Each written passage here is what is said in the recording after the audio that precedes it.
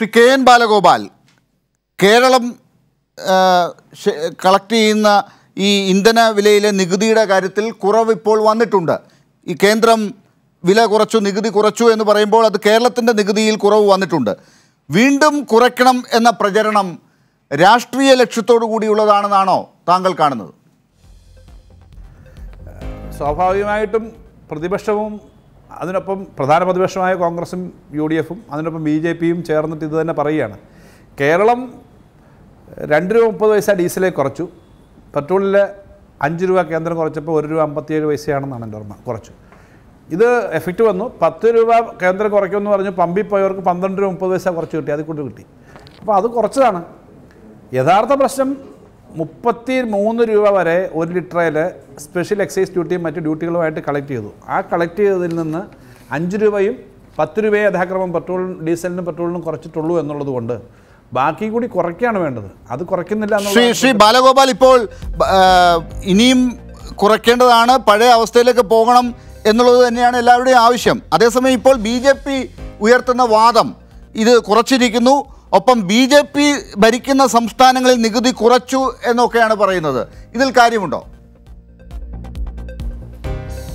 ഈ ഞാൻ ആദ്യം പറഞ്ഞ തന്നെ ഒരു കാര്യം പറയാം. ബി ജെ പി ഭരിക്കുന്ന സംസ്ഥാനങ്ങളിൽ ചിലയിടത്ത് കുറച്ചിട്ടുണ്ട്. ഇപ്പോൾ ആസാം ബി ജെ പിക്ക് ബി ജെ പിയുടെ നല്ല മുൻകൈയുള്ളൊരു സംസ്ഥാനമാണ്. ആസാമിൽ അഞ്ച് രൂപ വെച്ച് ഒരു ലിറ്ററിൽ കോവിഡ് സെസ്സായിട്ട് പിരിക്കുന്നുണ്ടായിരുന്നു. കേരളത്തിൽ കോവിഡ് സെസ് പിരിച്ചില്ലല്ലോ. പ്രത്യേക ടാക്സ് നേരത്തെയുള്ള ടാക്സ് കൂടാതെ ഒന്നും നമ്മൾ പിരിച്ചിട്ടില്ല. രാജസ്ഥാൻ കോൺഗ്രസ് ഭരിക്കുന്ന സംസ്ഥാനമാണ്. നാല് ശതമാനം അവിടെ കോവിഡ് സെസ് ഉണ്ട്. കർണാടകയും യു പിയും ബീഹാറും മധ്യപ്രദേശും മറ്റു പല സംസ്ഥാനങ്ങളിലും അങ്ങനെ പ്രത്യേകമുണ്ട് നമ്മൾ അങ്ങനെ പിരിച്ചതേ ഇല്ല. ആളുകളുടെ ബുദ്ധിമുട്ട് കരുതി. അപ്പോൾ അതുകൊണ്ട് ഇപ്പോൾ അവർ കുറച്ചെന്ന് പറഞ്ഞാൽ അത്രയും കളക്ട് ചെയ്തിട്ട്. അഞ്ച് രൂപ വെച്ച് ഒരു ലിറ്ററെ കളക്ട് ചെയ്തിട്ട് ഇത്രയും മാസം കളക്ട് ചെയ്തിട്ട് നിർത്തുമ്പോൾ വേണമെങ്കിൽ കുറച്ച് കുറയ്ക്കാം. ഇതൊരു കാര്യം. രണ്ടാമത്തെ കാര്യം കേരളത്തിനോട് അല്ലെങ്കിൽ കേരളം പോലുള്ള സംസ്ഥാനങ്ങളോട് കോൺഗ്രസ് ഭരിക്കുന്ന സംസ്ഥാനങ്ങളോടും ഇന്നിപ്പോൾ കേന്ദ്രം ഭരിക്കുന്ന ബി ജെ പി എടുക്കുന്ന നിലപാടും ബി ജെ പി ഭരിക്കുന്ന സംസ്ഥാനങ്ങളോട് എടുക്കുന്ന നിലപാടും വ്യത്യാസമുണ്ട്. ഉദാഹരണം യു പിക്ക് കേന്ദ്രത്തിന്റെ ഫണ്ട് വീതം വെക്കുന്നതിൽ അവരുടെ ഡിവിസി പൂൾ എന്ന് പറയും ആകെയുള്ള നൂറ് രൂപ വരുന്നതിൽ നാൽപ്പത്തൊന്ന് രൂപ സംസ്ഥാനങ്ങൾ കൊടുക്കും. അതിന്റെ പതിനേഴ് ശതമാനം പതിനെട്ട് ശതമാനം വരെ യു പിക്ക് കൊടുക്കുന്നുണ്ട്. അവരുടെ ജനസംഖ്യ ഏകദേശം അത്രയും വരും. കേരളത്തിന്റെ ജനസംഖ്യ അനുസരിച്ച് നാല് ശതമാനം ത്തിനടുത്ത് മൂന്നര ശതമാനത്തിന് നാല് ശതമാനത്തിന് ഇടയ്ക്ക് നമുക്ക് കിട്ടണം. പക്ഷേ നമുക്ക് ഒന്നേ മുക്കാൽ ശതമാനമേ തരുന്നുള്ളൂ. അപ്പോൾ അങ്ങനെയുള്ള സഹായവും നമുക്കില്ല. സംസ്ഥാനങ്ങളെ ശ്വാസം മുട്ടിക്കുകയാണ്. ആ ശ്വാസം മുട്ടിക്കുമ്പോൾ B J P B J P ഭരിക്കുന്ന സംസ്ഥാനങ്ങൾ എടുക്കുന്ന പിന്നെ നിലപാട് വേറെ തരത്തിലുള്ള ഇതുകൊണ്ടായിരിക്കും. നമുക്ക് കഴിഞ്ഞ വർഷം കിട്ടിയിരുന്ന പണം കേന്ദ്ര ഡിവിസി പൂളിൽ നിന്ന് കിട്ടുന്നതെന്ന് ഈ വർഷം ആറായിരത്തി നാനൂറ് കോടിയാണ് കുറച്ച്. ഇങ്ങനെ ഏകപക്ഷമായിട്ട് കുറയ്ക്കുന്നതിനെ സംബന്ധിച്ചുള്ള പരാതിയുണ്ട്. അപ്പോൾ അതിനൊപ്പം ഈ കേന്ദ്രം പിരിക്കുന്ന പണത്തിൽ നോക്കി ഇവിടെ തന്നെ എന്റെ ഒരു ലേറ്റസ്റ്റ് കണക്കാണ്. ഈ ഒരു രൂപ നാൽപ്പത് പൈസയാണ് അവർ എക്സൈസ് ഡ്യൂട്ടി ആയിട്ട് കളക്ട് ചെയ്യുന്നത്. പതിനൊന്ന് രൂപയാണ് പ്രത്യേക എക്സൈസ് ഡ്യൂട്ടി ആയിട്ട് കളക്ട് ചെയ്യുന്നത്. അഡീഷണൽ എക്സൈസ് ഡ്യൂട്ടി ആയിട്ട് പതിനെട്ട് രൂപ കളക്ട് ചെയ്യുന്നു. രണ്ട് രൂപ അമ്പത് പൈസ പ്രത്യേക റോഡ് സെസ് ആയിട്ട് കളക്ട് ചെയ്യുന്നു. ഇങ്ങനെ കളക്ട് ചെയ്യുന്ന പണത്തിന്റെ ഒരു പണവും നമുക്ക് തരണ്ട. നേരത്തെ ഞാൻ പറഞ്ഞത് സംസ്ഥാനങ്ങൾ കൊടുക്കുന്ന വിഹിതത്തിനൊരു പ്രൊവിഷൻ ഉണ്ട്. പക്ഷേ ഇങ്ങനെ കളക്ട് ചെയ്യുന്നതിന് അത് വേണ്ട.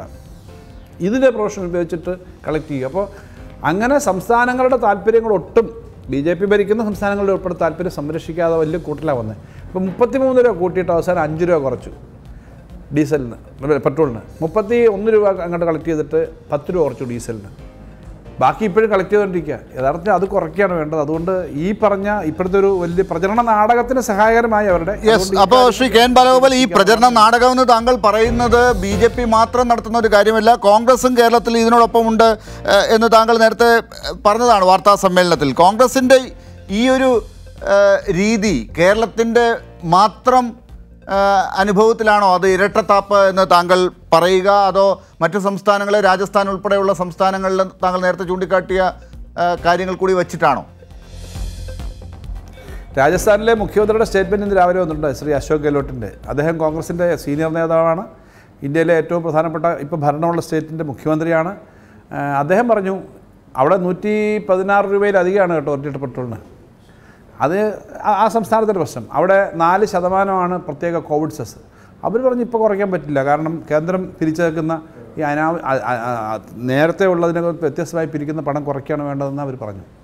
അതാണ് അപ്പോൾ ഇരട്ടത്താപ്പല്ലേ? കോൺഗ്രസ് വർക്കിംഗ് കമ്മിറ്റി ശ്രീമതി സോണിയാഗാന്ധിയുടെ അധ്യക്ഷതയിൽ ഡൽഹി ചേർന്ന വർക്കിംഗ് കമ്മിറ്റിയിൽ ഈ പെട്രോളിയം സെസ് പിരിക്കുന്നതിനെതിരായിട്ട് ശക്തമായ വിമർശനം ഉയർന്നു വന്നു. യെസ് ശ്രീ ശ്രീ ബാലഗോപാൽ ഇങ്ങനെ കോൺഗ്രസ് കേരളത്തിൽ ഉൾപ്പെടെ ഇത് കുറയ്ക്കണം എന്നൊക്കെ പറഞ്ഞ് സമരം നടത്തുന്നു. ബി ജെ പിയും ഒപ്പമുണ്ട് എന്നൊക്കെ പറയുമ്പോൾ തന്നെ സംസ്ഥാനത്തിന്റെ നികുതി വരുമാനത്തിൽ ഇപ്പോൾ കുറവുണ്ടാകാൻ പോവുകയാണ്. ഈ കേന്ദ്രം നികുതി കുറച്ചത് വഴി ആനുപാതികമായി ഇവിടെ ഉണ്ടാകുന്ന കുറവ് വഴി. ഈ വരുമാന നഷ്ടം എങ്ങനെ ബാലൻസ് ചെയ്യും എന്നാണ് താങ്കൾ കാണുന്നത്?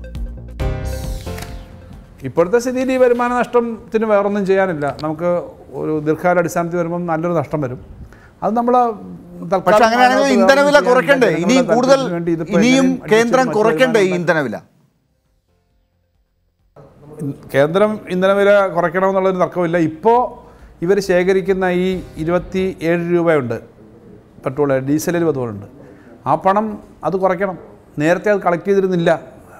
ഏതാനും വർഷം മുമ്പ് ഇങ്ങനെ സ്പെഷ്യൽ എക്സൈസ് ഡ്യൂട്ടി എന്ന് പറഞ്ഞൊരു പരിപാടി ഉണ്ടായിരുന്നില്ല. അതിപ്പോൾ ഭരണഘടനയുടെ ഇരുന്നൂറ്റി എഴുപത്തി ഒന്നാം വകുപ്പ് ഉപയോഗിച്ചിട്ട് ഏകപക്ഷീയമായിട്ട് വലിയ തോതിൽ സംസ്ഥാനങ്ങളുടെ വരുമാനം പിടിച്ചെടുക്കുന്ന തരത്തിലൊക്കെ തീരുമാനം നടപ്പിലാക്കി.